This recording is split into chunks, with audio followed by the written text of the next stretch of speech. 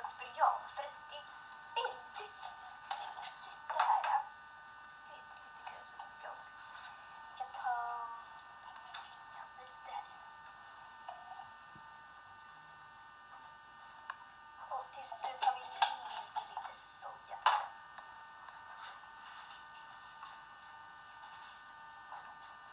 Så. Mm, det var min lilla goda middag klar.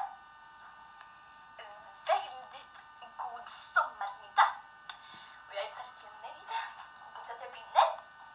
Då ställer jag det här. Ja, det var allt för mig idag. Hej Åsa!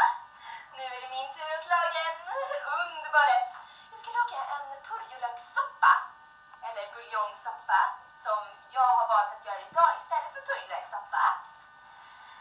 Ja, den här soppan äter man ju helst på de mörka, lite regniga sommardagarna när man är tråkigt. Soppan och den verkligen värmer upp hela kroppen.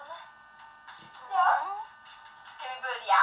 Ja, Och jag tänkte förstås ha lite frukt och grönt också till min soppa. Ja, då börjar vi. Först och främst så ska vi ta lite smör i den här skålen. Ungefär en matsked smör. Så, ser ni? En matsked. Som vi ska smälta till lite mer så den blir varm i mikron för vi vill ju inte ha en kall soppa på de kalla sommardagarna. nej. Nej. Lägger in i mikron ungefär en minut på sjuan. Så är det bara att vänta.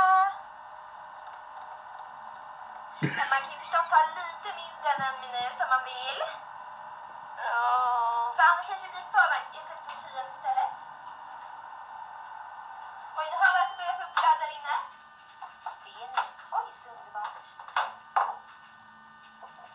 Smör.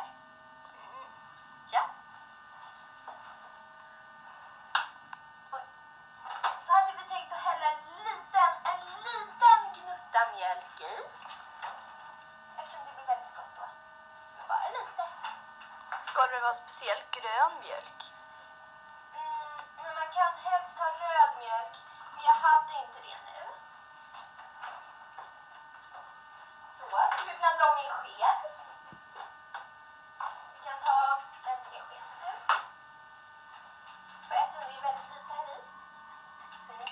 här. Oj, så gott det ser ut. Ser ni?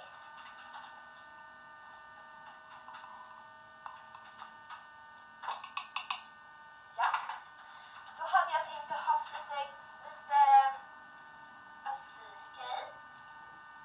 Fast vi kan börja faktiskt med att ta i eh, buljongen, hade jag tänkt.